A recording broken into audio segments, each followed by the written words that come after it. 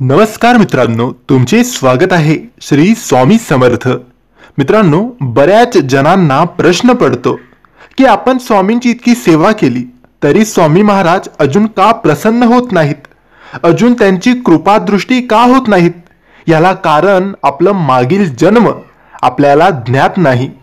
सर्वांनाच दुःखे असतात. दुःख संकट एकामागून एक येतच राहिली तर मन खट्ट होते. आपल्यालाच वाटायला लागते की एवढी दुःख काय येत आहेत? इतके नामस्मरण केले तरी महाराजांना आपली दया काय येत नाहीये? आणि निराशेने कधी कधी आपण नामस्मरण आणि स्वामींची सेवा सोडून देण्याचा विचारही मनात करतो. पण अशा विकल्पांना अजिबात थारा देऊ नका आणि आपण नामाला धरून राहावे कारण हीच आपल्या परीक्षेची वेळ असते. महाराजांचीही हीच इच्छा असते की आपण प्रारब्ध भोगातून मुक्त होऊन मोक्षपदाचे यात्री व्हावे. आपले स्वामी तर इतके कनवालू दयाळू आहेत की ते दुःखातही आपल्या एखाद्या आशेच्या किरण दाखवतात सुखाची एखादी झुळूक दाखवतात जेणेकरून आपल्या प्रिय भक्त आपल्यापासून दुरावू नये असे स्वामींनाही वाटत असते. अशा वेळी ते नामरूपाने सदैव आपल्या बरोबर राहून अडचणींच्या काळात आपला मार्ग सुखकर करत राहतात.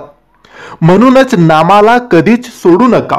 कारण आपले पूर्वसंचित संपल्याशिवाय आपली साधना फळाला येत नाही. हेच स्वामी विद्यारण्याच्या दृष्टातून आपल्याला जाणून घ्यायचे असते. दुःख संकटे असतील तरच आपल्याला सुखाची किंमत कळते. आणि भगवंताच्या अस्तित्वाची जाणीवही या एकाच गोष्टीमुळे आपल्याला होत राहते. म्हणून मित्रांनो तुम्हाला कितीही दुःख असतील समस्या असतील तरीही तुमच्या स्वामींवरचा विश्वास कमी होऊ देऊ नका. आणि स्वामींची सेवा आणि नामस्मरण सोडायचा विचारही करू नका.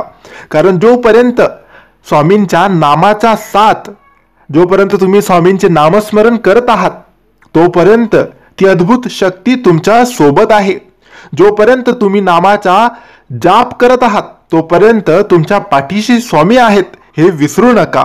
आणि सेवा कधी सोडू नका. श्री स्वामी समर्थ. तर मित्रांनो ही माहिती तुम्हाला आवडली असेल तर लाईक आणि शेअर करा. काही प्रश्न असतील तर कमेंट्सद्वारे विचारा आणि आमच्या चॅनलला सबस्क्राईब करायला विसरू नका. धन्यवाद.